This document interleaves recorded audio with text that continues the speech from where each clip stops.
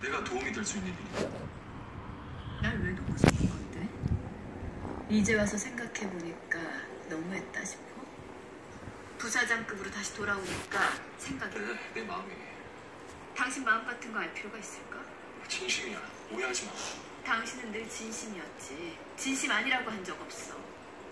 그 진심이 너무 많아서 너무 자주 바뀌어서 탈이지.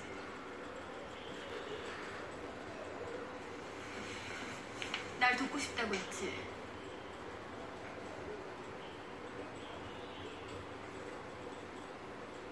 민경채 총괄 부사장 시절에 총지배인이랑 결혼까지 갈 뻔했다면 그럼 그 소문이 사실이야? 은희수 부사장이 끼어들어서 가로챘다는? 사실인가 봐. 아까 보니까 두 사람 잘 어울리긴 하더라. 부사장님하고 총지배인 사이 별로 좋아 보이지 않는 것 같아. 맞아. 내 생각도 저기 우리 못 봐도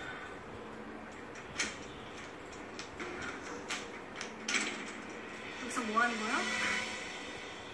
두 사람 뭐 하는 거냐고 묻잖아. 저 오해하지 마.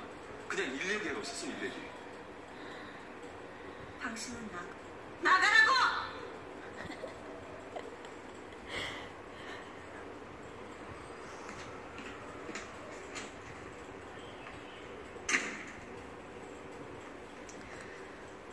다른 사람들 앞에서도 이런 식이니?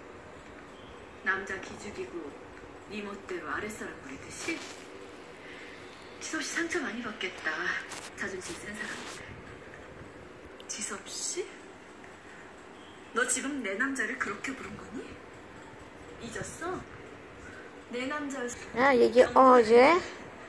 Sibuk kan? 일 없이 민경채 사무실에 들락거리거나 Ha? 두 사람 그런 식으로 붙어 있는 거. Sibuk.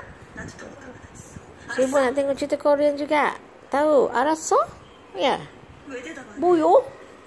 Boleh. 알았어. 직원들이. 뭐라 그러는 줄 알아? Oh, namin. 내가 내가? 당신을 뺏었대. 두 사람 사이에 껴들어서? 해놓고 결국엔 한지섭을 가로챘대. 왜 아무 말이 없어? 아, 그럼 이럴 때 그 말 뭐야? 그럼 다 내가 민경채한테서 당신을 뺏었다고 생각하는 거야?